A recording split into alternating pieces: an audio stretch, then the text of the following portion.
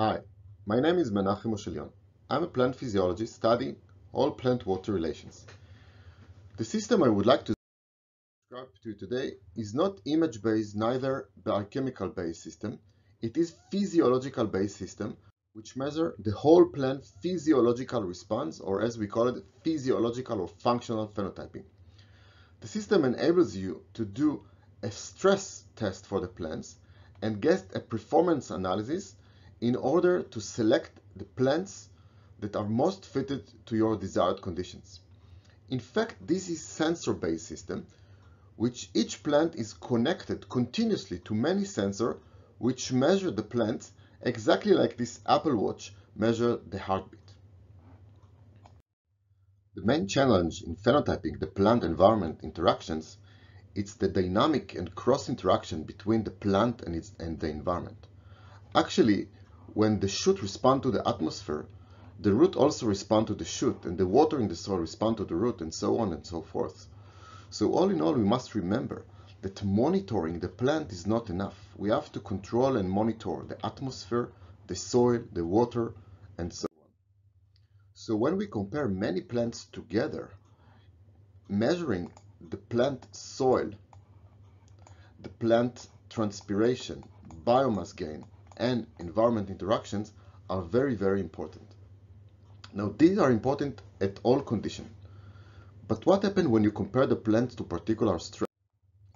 For example, in this experiment, we can see a comparison of many introgression tomato lines uh, during one month of experiment. So in A, we see the environmental changes of light and VPD, and in B, we see a pre-treatment where all the plants were well irrigated, then there is a drought treatment. There we can see a differential response of the different plant. Although they look the same, you can see it in the previous slide, they respond very differently. So some plant after a week are under severe stress. They actually do not transpire anymore, while other do not feel the stress at all. So we can conclude that it is not recommended to base to sorry to compare the plants based on a daily basis. So how do you know what is the exact stress level your plant suffers? To my opinion, plant stress response should not be determined by physical parameter like soil water content, but should be determined by physiological parameter like plant transpiration.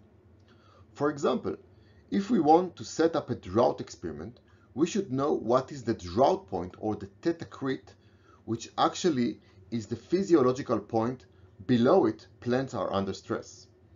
So if we look on this graph, when we measure plant transpiration and soil water content, the point where the soil water content become limiting factor for transpiration, this point here, this is the theta crit. So tomato has higher theta crit than sunflower. The reason for that is the root system of sunflower. Sunflower has much bigger root system, which can actually reach out for more water than tomato. In this case, limiting both plants together will enable sunflower to go to a lower water content because at this uh, water content, sunflower can actually reach more water. So even though both has the same shoot size or transpiration, the theta or the point where sunflower become limited is much lower. So if we set up experiment of 50% soil water content, it's not exactly going to expose both of them to the same stress because at this point, tomato will be under stress while sunflower won't. So the conclusion is that controlling drought treatment based on predetermined soil water content may be misleading which means we need to have standardization of our treatments. This is why we use the PlantArray system, which is uh, belong to the company name Plant-DiTech. So this system is actually built from multiple sensors. So each plant sits on a lysimeter, very special one, has a lot of gadgets that prevent water loss from the soil or from uh, any drippage. Each plant controlled to a controller, which uh, measure soil and atmosphere conditions. So each plant is like a resistor measuring the soil, plant, and atmosphere condition continuously. Moreover, the controller regulates the irrigation in a feedback way, so each plant being irrigated based on its own physiological parameters. So the controller actually have tap A or tap B. It can control each one of them based on the time, weight, or previous day transpiration, but most importantly, it can actually regulate the plant using a dehydration rate, which means we can set up the exact condition we want to have in the soil and the system will regulate it for us. So we went, when we got coming back to this uh, stress level, we weren't going to get this level of noise or this transpiration level. This is a non-controlled conventional drought, but rather we're going to get a very nice and controlled low drought, medium drought, and severe drought. These are averages of all the plant exposed to the similar drought condition. So by the system standardization, we can really get a very similar drought uh, simulation. So the system enables us to control the stress level we want, to measure simultaneously many plants together, and to analyze them in a real time. So all in all, our system measure whole plant biomass gain, the real biomass, not image analysis one, the transpiration, the absolute level of water loss gram per day, water use efficiency, which is the uh, relative water loss per biomass gain, stomatal conductance, which is actually normalized water loss from the whole plant normalized to its weight and the VPD, root fluxes, and also identify the drought point. Uh, the system does it to each plant in, this, in the array. In addition, the system measures a lot of ambient conditions from the soil and from the in fact, there are a few more requirements one have to take when doing stress response of many plants together. Yet, unfortunately, I would not have the time now to talk about those, but please feel free to go to these papers where, where you can find a nice explanations. I would like now to show you a case study we did with our functional phenotyping system, which enable us to predict yield in the field.